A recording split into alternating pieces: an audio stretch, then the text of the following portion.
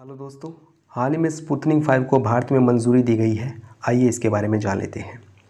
रूस द्वारा विकसित कोविड 19 प्रतिरोधी वैक्सीन स्पुतनिक फाइव को drugs controller general of India यानी कि डीसीजीआई ने आपातकालीन उपयोग के लिए मंजूरी दे दी है। आपको याद रखना है कि स्पुतनिक फाइव किस देश की वैक्सीन है? रूस की वैक्सीन है। भारत में इसको किसने मंजूरी दी है? Drugs controller general of India ने। यह तीसरी वैक्सीन है जिसको आपातकालीन सिचुएशन में मंजूरी दी गई है। पहली दो वैक्सीन कौन कौन सी हैं? कोविशील्ड, जिसका निर्माण सीरम इंस्टीट्यूट ऑफ़ इंडिया कर रहा है, और कोवैक्सीन। कोवैक्सीन बनाई जा रही है भारत बायोटेक के द्वारा। स्पुतनिक फाइव वैक्सीन को मॉस्को में Gamaleya national research institute of epidemiology and microbiology द्वारा बनाया जा रहा है। इसमें दो अलग अलग वायरसेस का प्रयोग किया गया है, जो कि मनुष्य में सामान्य सर्दी एडेनो वायरस का कारण बनते हैं। आपको याद रखना कि एडेनो वायरस सत्तर से नब्बे नैनोमीटर का है और यह एक डीएनए वायरस है।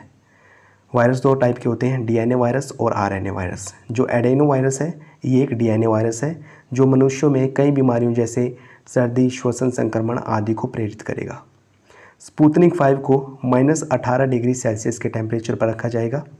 प्रभावकारिता की बात करें तो जब इसको टेस्ट किया गया था तो सौ में से इक्यानवे लोग इससे ठीक हुए थे।